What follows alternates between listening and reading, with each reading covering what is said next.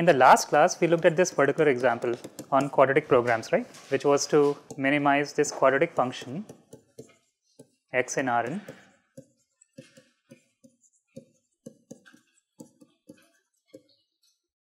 let's say uh, q is positive definite, okay, subject to some some equality constraint of the form or let's say inequality constraint of this form ax less than equal to b where A is some matrix in R cross N.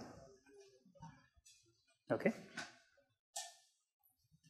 All right. So, in this case, let us say R turns out to be much much smaller than N and can be in the range uh, let us say 100 k or a million dimensional sort of uh, variable, right. Now, let us say dif different agents are trying to solve this problem in a distributed manner. So, what could be a potential challenge that you can see in solving such problems? Especially in this case. So, let us say we are I mean we have a network of agents and every agent has access to a part of this A matrix right. So, everyone is trying to solve this global problem, but they only have access to certain rows of this A matrix. Number of such rows are this little r. So, everyone would try and come up with their own uh, sort of estimate of this global x. Okay. Now, what, what is a particular challenge that you see in solving uh, this problem in a distributed manner?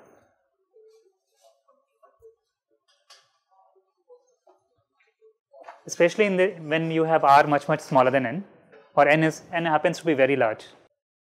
So, again in distributed optimization whenever an agent solves for a particular problem they are also going to be exchanging information with their neighbors right? And exchanging a variable which is 100 k dimensional that is going to be a, that is going to pose a serious requirement on the communication channel right? The bandwidth that is required to share that large dimensional variable. And this is not a very viable approach to go about solving this problem right? Because every time you, I mean, everyone, like any agent solves this problem locally, they would be exchanging their information with their neighbors and trying to get a sense of how the uh, final sort of or the glo global estimate looks like. And this is going to be seriously communication intensive. So, when n is very large, so it is going to pose a computational or bandwidth requirement on uh, communication channel, right.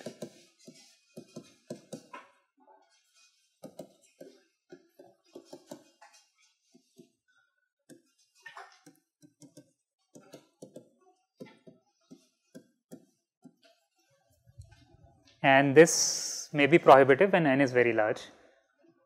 The other problem that we see is, well, I mean, it's not too difficult, but at the same time, working with these kind of inequality constraints may not be as easy, right. So, the question is can we try to come up, uh, try to if, like reformulate this problem in a manner such that it reduces the bandwidth requirement and there are much simpler constraints to work with.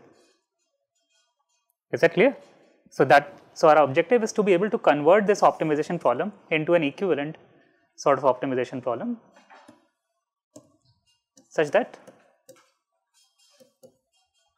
so can we come up with a simpler optimization problem and when I say simpler, so something which, which has lesser bandwidth requirement.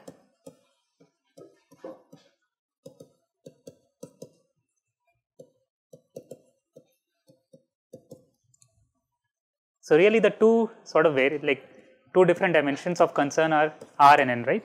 We know that R is much, much smaller than N. So something that scales with R and not with N, right? So bandwidth requirement scales with R. So, that would be a simpler ver version, right. So, what does Ax less than equal to b represent here? So, these are R inequality constraints, right. And if something, if I come up with a problem which has fewer inequality constraints to work with and but it scales with the number of inequality constraints. So, that would be a simpler problem to work with, right. So, it scales with R and not n and has simpler, so when I say simpler optimization problem, the other objective is instead of working with this kind of inequality constraints Ax less than equal to b, can the constraint be sim uh, simplified further?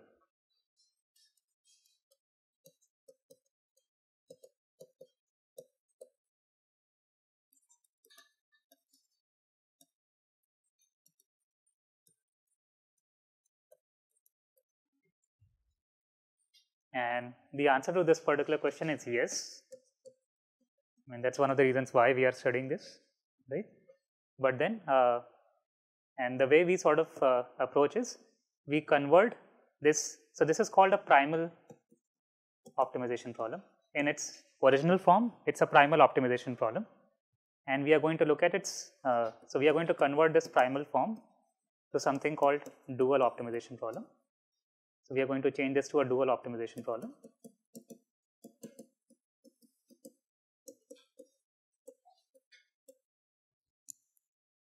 So, and we would see that it's much easier to work with dual optimization problem in certain cases than working with the primal form. We are also going to look at uh, things like weak duality.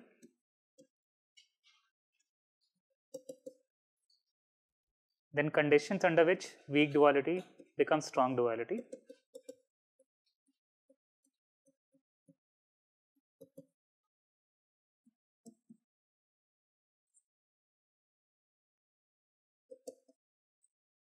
Okay.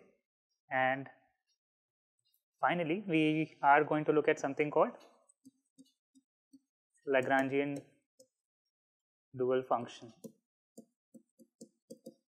So, again all of these are going to be related to uh, be able to pose this problem, uh, pose this optimization problem as uh, an equivalent dual optimization problem and try to study conditions under which these forms are equivalent.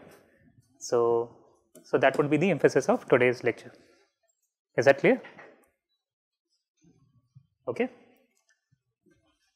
Any questions so far? At least from the point of view of motivating why we need to study dual optimization problem. So, in a primal optimization problem, things scale with x, right? And x can be large dimensional here, and you wouldn't want to be exchanging very large amount of information uh, through a communication like channel because it would have larger bandwidth requirement. Again, we have inequality constraints to work with. So, we would want to come up with an equivalent problem which possibly returns the same solution, but something which scales with r, the number of inequality constraints that you have. And instead of working with these like complex inequality constraints, maybe we can simplify this further. So, that would be the objective and that, that will be achieved using a dual form. And we are going to look at dual forms of uh, optimization problem. Okay.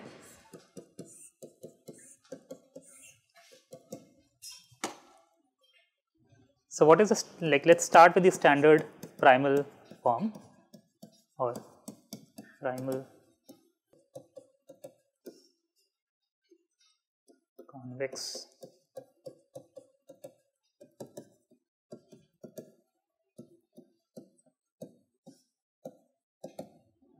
okay. So, a more sort of general form of convex optimization problem is minimize some function f of x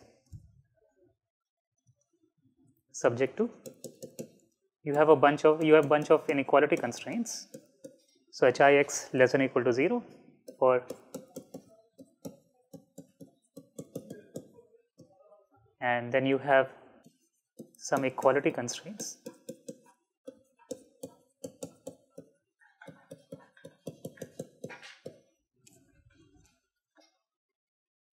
and we are going to be assuming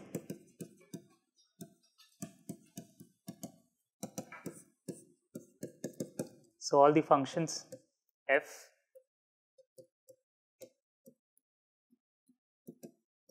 these are convex. Okay? So these are convex functions. And let's say the optimal solution to this problem happens to be p star Okay. So, P star is the minimum value of f of x subject to these constraints. Okay. So, why P star? Because this is the primal form, so I am using the term P to denote that the primal objective value is P star. Okay. So, we are going to be assuming that these functions are convex. In fact, in most cases this function Lj, the equality constraints we work with linear equality constraints and we assume that P star is finite. So, throughout the lecture we are going to be working under this assumption and the question and then we will try to come up with a dual form of this primal optimization problem. Okay. So, for this uh, primal optimization problem, so we define uh, Lagrangian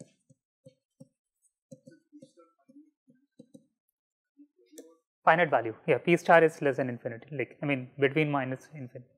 Yeah. All right. So we define Lagrangian for this particular problem is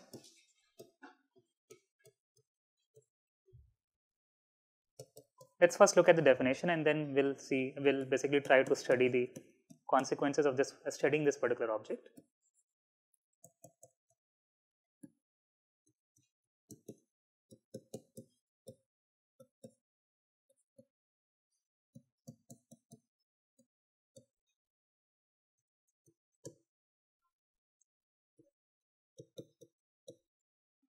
Okay.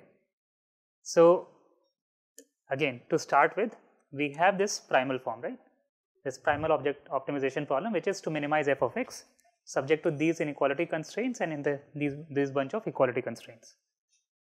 And depending on the number of inequality and equality constraints we have, we define something called Lagrangian of this particular problem and Lagrangian is defined to be f of fx plus uh, this particular term. So, essentially to say that lambda is in Rm and uh, nu is in Is this clear? All right. So, so why do we care about this particular Lagrangian? Uh, okay. So let's motivate this with an example. Suppose you are a company, right, and you're trying to minimize total loss in revenue. So let's say you're trying to minimize minimize a function. Think of this function as loss in revenue subject to some budgeting constraints. So, let us say the budget is Bx equal to b. okay. So, the total budget that you, you have a budget function. So, depending on the number of quantities you produce, so X is the number of quantity, right. So, you are trying to minimize total loss in revenue based on how much quantity you produce. So, you want to optimize the number of quantities you produce so as to minimize the total loss in revenue. Uh, and then you are, I mean, you have some budgeting constraint. So, little b is your budget that you want to operate under. Okay. So, if I try to uh, analyze this uh, pictorially, so again your functions or let us say your budget set or constraint set is something like this. So, this can be okay. I mean you can operate like let us say this is the total budget that has been given to you okay. I mean yeah it, I mean in general it can be less than equal to b but I am trying to study a simpler case. So, for now just ignore this particular part. So, we are just looking at what happens to Lagrangian when we just work with this Lagrangian under equality constraint. So, let us say this is the equality constraint that you are asked to operate under. So, this is your budget, the total money that you have uh, and then you want to like spend that much money, but at the same time you want to minimize the loss in revenue. Okay. And your function, uh, again we can draw the level sets of the function. So, this can be for instance fx equal to 0, fx equal to some value let us say 1.5 so and so on. So, fx increases this way right. And when does this function get minimized subject to this particular equality constraint? Yeah, you are right in the sense that maybe I should have drawn this differently. So, interior is not included. So, let us say okay in this case yeah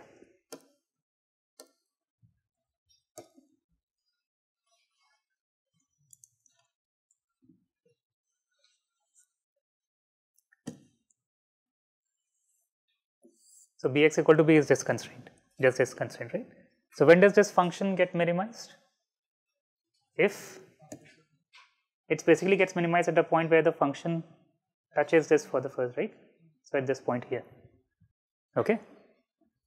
At this point, what is the direction like basically you have at this since it touches at this point, right. Uh, so, essentially if I if I draw a line which is orthogonal to this particular direction, it's it's like a tangent to this uh, constraint set as well, right? So the gradient of this this would be the gradient of f of x. Now if I look at this constraint set bx equal to b, what is the normal or the gradient of this constraint set? It would be pointing in this direction, right?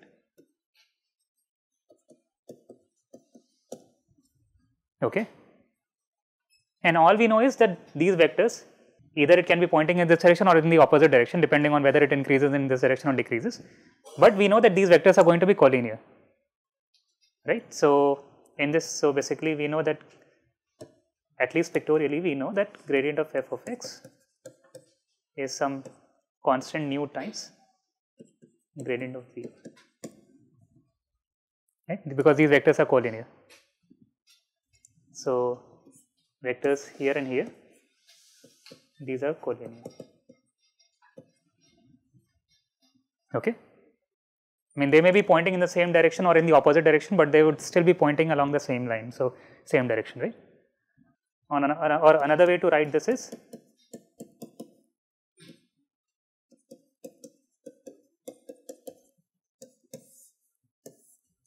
okay. So, this is one of the constraints that we have for optimality. So, if now let us define this optimal point to be x star and so one of the constraints that we have for optimality is that gradient of f of x star is some nu star times gradient bx star. So, this is equal to 0, right. That is one of the constraints. What is the other constraint? bx star equal to b, right.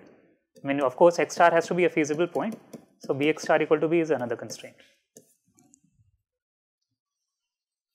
Okay.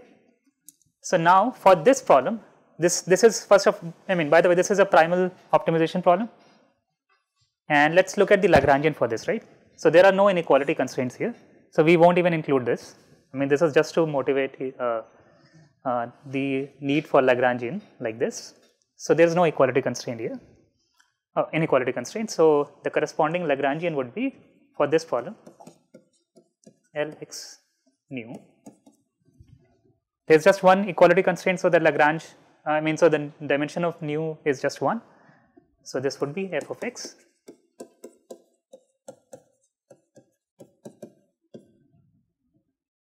okay. Now, suppose now treat this particular Lagrangian okay. So, remember we started with the constrained optimization problem. Now, think of this constrained optimization problem as an unconstrained optimization problem with this being your like objective function. So, for when the uh, objective function is unconstrained or the optimization problem is unconstrained, what is the condition for optimality? For unconstrained optim minimization, gradient vanishes, right? So, in this case there are two variables x and nu. So, the gradient with respect to both the variables must vanish. So, when I say gradient with respect to x, so that would be gradient of f of x at the optimal point x star, right? At the optimal point x star, gradient x plus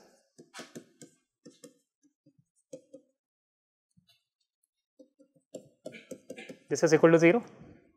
So, this is gradient with respect to x and you assume that x star uh, nu star are the optimal like x star nu star is the optimal solution and the gradient with respect to nu must also vanish right because it is a function of two variables x and nu. So, the gradient with respect to nu is also should also vanish and when you take the gradient with respect to nu you are left with just this equality constraint which anyway needs to be satisfied. So, bx star equal to b is another constraint and that is what we had uh, obtained even uh, pictorially right. So, in some sense Lagrangian helps you convert a constrained optimization problem into an unconstrained optimization problem. Is this clear? Any questions on this? Yeah, so with inequality it's not that straightforward, but we'll will uh, will come to that. But for the equality constraint optimization problem, is this clear? So both these constraints need to be satisfied, and uh, I mean even uh, analytically and as well as like pictorially, that that sort of uh, makes sense. So these quantities lambda and nu, these are called Lagrange multipliers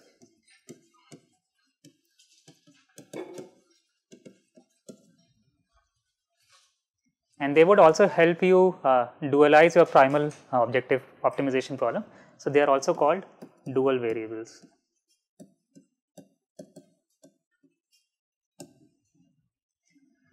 Okay. Is this clear? So, lambda and nu are your Lagrange multipliers or the dual variables and they play a role when we try to come up with a dual uh, formulation of your primal optimization problem. But really you should see Lagrangian form or sort of uh, the Lagrangian as a way to convert a constrained optimization problem to an unconstrained optimization problem, especially for equality constrained optimization problem. Okay. Yeah, yeah. I mean, we, I mean, we, we haven't come to that yet. I mean, you can define the Lagrangian even for lambda, just for any lambda, but I mean, when you, yeah, we'll come to that part. But for now, just assume that lambda, lambda is uh, m dimensional and basically as many as the number of inequality constraints and nu is the number of uh, equality constraints, like e, the dimension of nu is the number of equality constraints.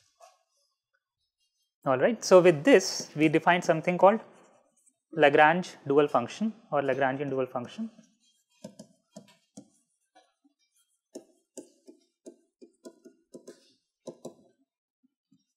So this is a function in terms of your Lagrange multipliers lambda and nu and it is defined to be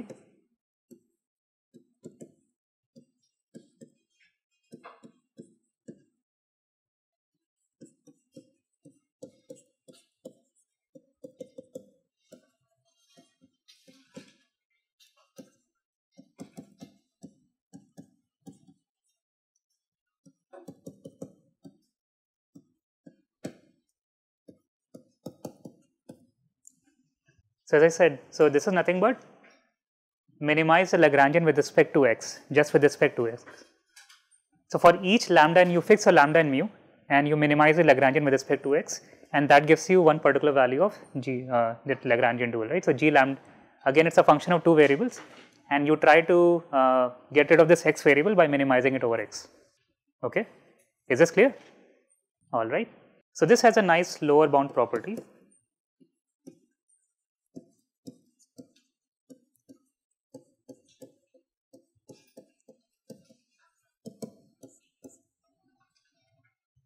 So, this says that if if your lambda is and that basically comes like answers your question. So, if your the the Lagrange multipliers for the inequality constraints if they turn out to be positive then your primal objective value always over approximates your Lagrangian dual for any uh, for all lambda nu as long as lambda is a positive. Okay. And this gives you an idea as to, okay, I mean, we'll, we'll come to the duality gap and things later, but this, so as long as this is true, P star is always in uh, sort of the upper bound on this Lagrangian dual function. And let's look at a quick proof uh, for this. Yeah.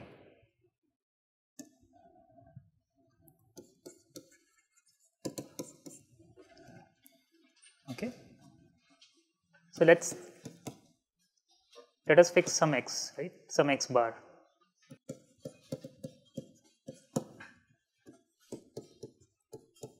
So f of x bar, we know it's going to be greater than equal to f of x bar plus summation i 1 through n lambda i h i of x bar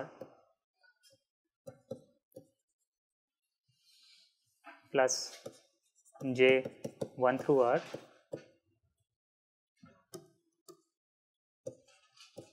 nu j l j of x bar. Why is that? We choose an x bar which is a feasible point. So, so why is that? So, if x bar is a feasible point, then Lg of x bar is 0, Hi of x bar is less than equal to 0 and if lambda is a greater than equal to 0, then this whole term is less than equal to 0, right. So, therefore, the left hand side is always going to supersede the right hand side, right. Is this clear? So, what is the right hand side? It is nothing but Lagrangian evaluated at x bar lambda nu okay and this is true for a specific x bar. So, if I choose the minimum value of Lagrangian, it, it, that is also going to be true.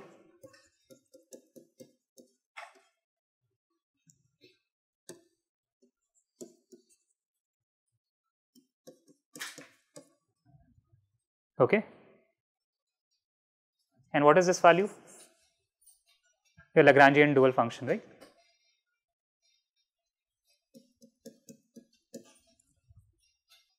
Okay. So, what do we get from here? f of x bar is greater than equal to g lambda nu. And this is true for every x bar in your constraint set. So, if I try to minimize x over all x bar in x, f of x bar, this should also be true. And this value is nothing but p star, right. So, we get that p star is greater than equal to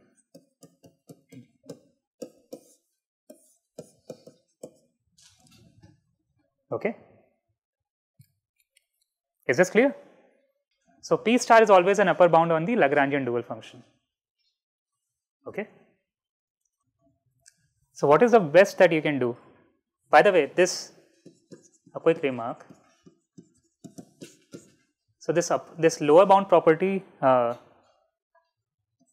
this holds true even if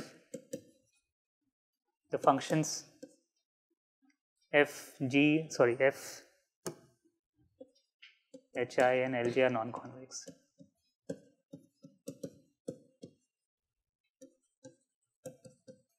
Right, because nowhere we used a convexity argument. Even if they are non convex, your primal objective value, optimal value is always going to exceed the Lagrangian dual for any lambda n nu. Is this clear?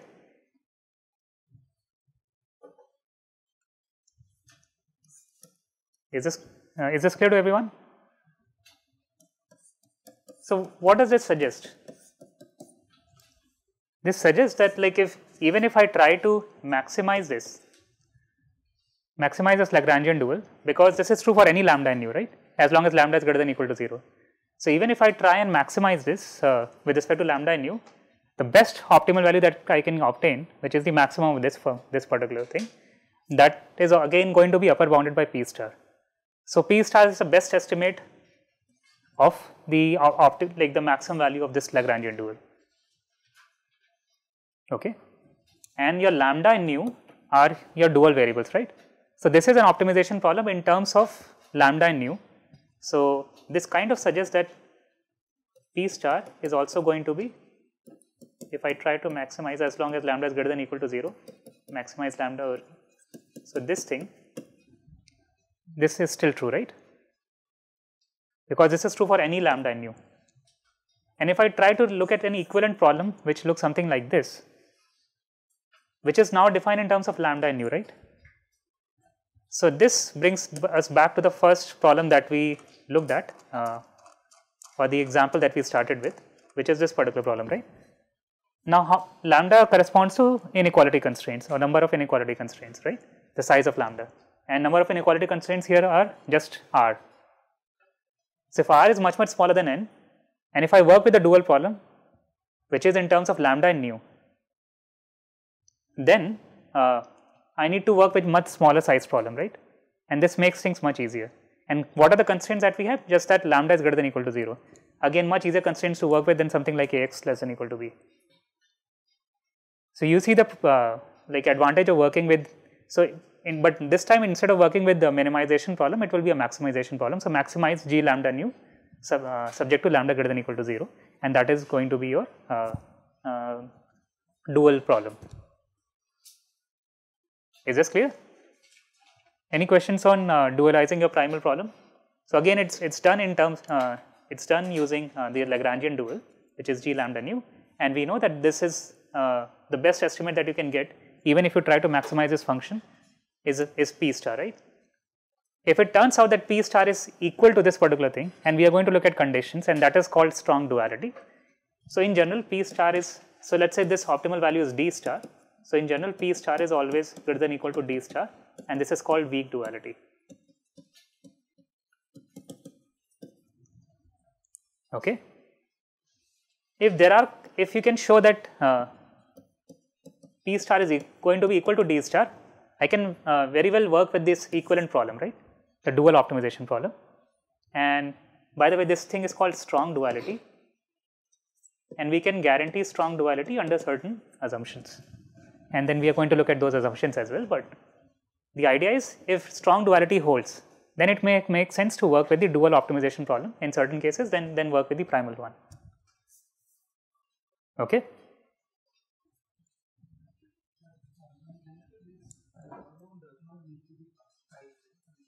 It's, it's, I mean, in general, it's not tight. I mean, it's, I mean,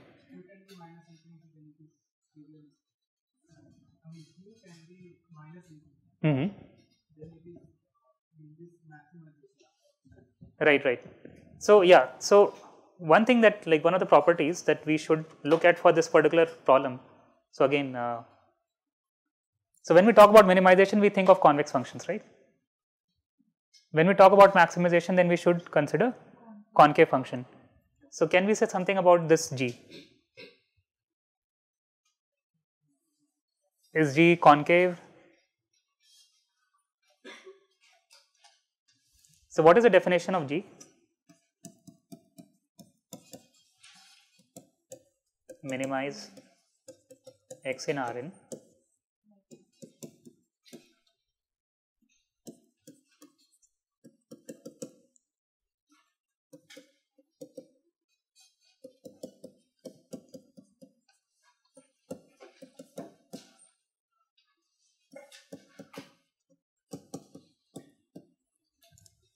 right. So, what, so what can we say about this G? Is it convex, concave? When is it convex, when is it concave? So, first of all G is a function of lambda and nu, right. It is not a function of x, it is a function of lambda and nu. And what is, I mean how are we constructing G? Through pointwise minimization, right. For each x, we are doing this minimization. So, so for, for each lambda and nu, we are doing minimization over x. So, we are doing pointwise minimization, right. So, remember like in one of the lectures, we looked, we had looked at operations that preserve convexity and that one of them was pointwise maximization. So, let us see how pointwise minimization works. Suppose you have functions uh, like this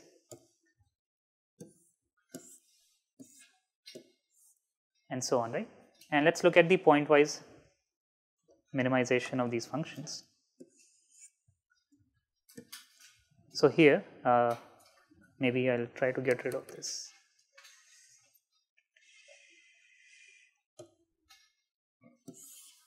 something like this right like so what would be the pointwise minimization of this function these set of functions so this function gets minimized at this point here the minimum would be uh, something like this, right. So, so this looks like a concave function. So, just as pointwise maximization is convex, pointwise minimization is concave.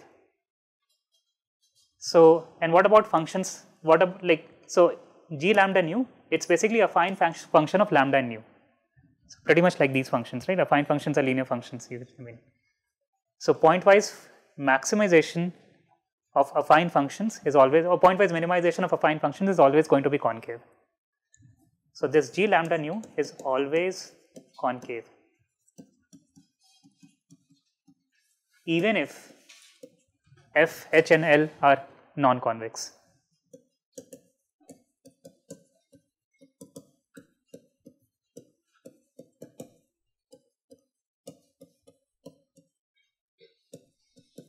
Why? Because it's pointwise minimization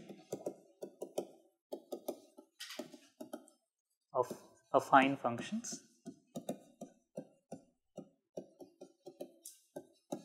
in lambda and nu. Okay. So, this g lambda nu of always turns out to be a concave problem. So, maximization of g lambda nu it is always a concave optimization problem or concave problem and we know that we can solve. I mean, it's easier to work with convex, just as it, I mean, it's easier to work with convex functions, minimization of convex functions. It's as easy to as, I mean, as easy as maximizing the concave function, right? So, So, even if your original problem is non-convex, dual problem is always concave. So, that is that is one thing that you should keep in mind. It is always concave in lambda and nu. Is this clear?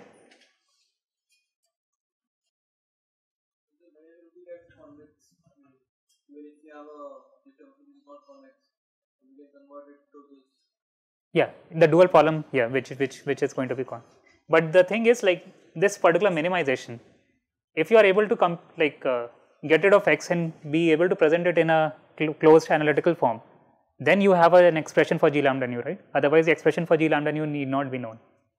So then it becomes, I mean, then it becomes difficult, right? So as long as you are able to get a closed form expression of this, uh, and for simpler uh, objective functions, simpler functions f, h, i, and lj, you would be able to. Then it's much easier to work with uh, dual problems.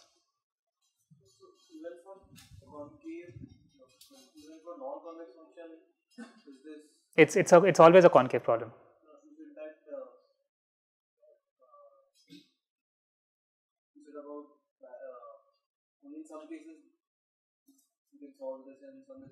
Yeah, I mean, I'm saying that like you want to be able to solve this, and let let's say you're trying to maximize uh, g lambda nu.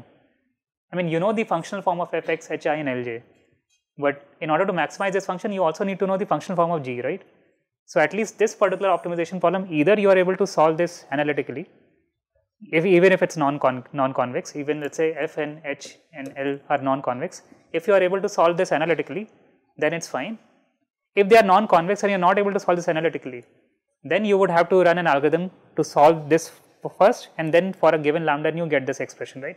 Now there, because if it's non-convex, you may get some, uh, I mean, you may get stuck at a local minima, right. So you don't know if you have solved this correctly. Yeah, yeah. So in convexity, even if you are not able to solve it in a closed, like in a closed form, because it's a convex problem, we know that we are going to get like we are going to converge to a, a global minima, and therefore even if you arrive at it numerically, it would still be a correct estimate. Whereas uh, if it's a non-convex problem, then it becomes challenging, right? All right.